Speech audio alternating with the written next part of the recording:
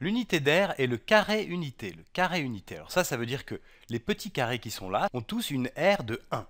Celui-ci a une aire de 1, celui-ci a une aire de 1, celui qui est là a une aire de 1. Et en fait, c'est avec ces petits carrés, qui donc sont des unités d'air, qu'on va pouvoir mesurer des airs. Alors la question qu'on nous pose justement, c'est quelle est l'aire de cette figure? Quelle est l'aire de cette figure qui est ici, j'imagine, celle qui est en bleu, ce parallélogramme? Alors, évidemment, il faut savoir ce qu'on entend, ce qu'on veut dire par aire d'une figure. hein.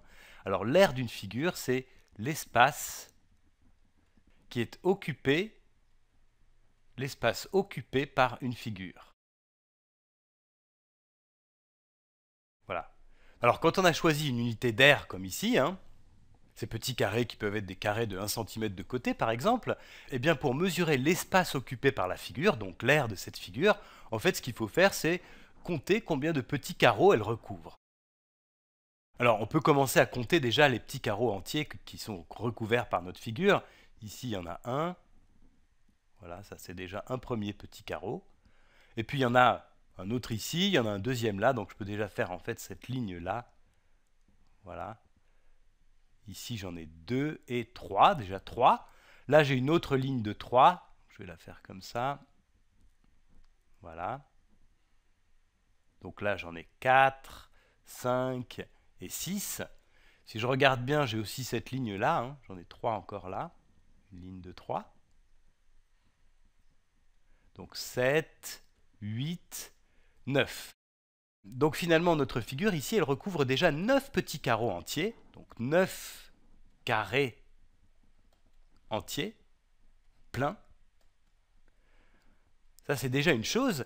Mais en fait, notre figure, elle a une aire plus grande que ça, puisqu'en fait, elle occupe plus que l'espace de ces neuf petits carreaux. hein. Il y a aussi ce triangle-là, qui est ici. Il y a ce triangle-là.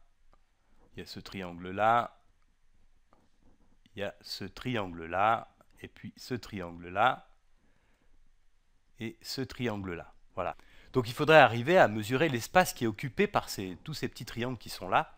Alors pour faire ça, il y a un petit truc qu'il faut remarquer, c'est que si je prends, je vais, prendre un de ces triangles, je vais le redessiner. En fait, c'est un triangle comme ça. Voilà. Je le colorie. Et en fait, maintenant, si je prends un deuxième triangle identique et que je le recolle de l'autre côté, en fait, je vais le placer comme ça. Tu vois? Et ici, en fait, quand je colorie, je vois que ce que j'ai fait, c'est que j'ai couvert un carré entier.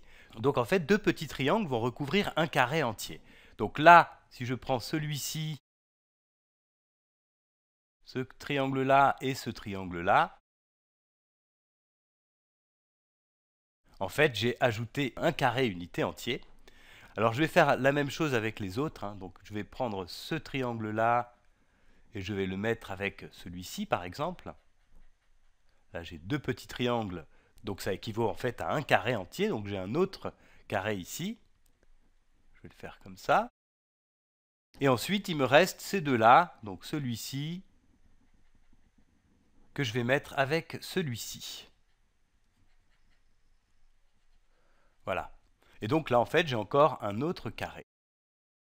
Donc la partie que j'ai coloriée en vert ici, ça, co- ça correspond à 1, 2, 3 carrés entiers. 3 carrés entiers.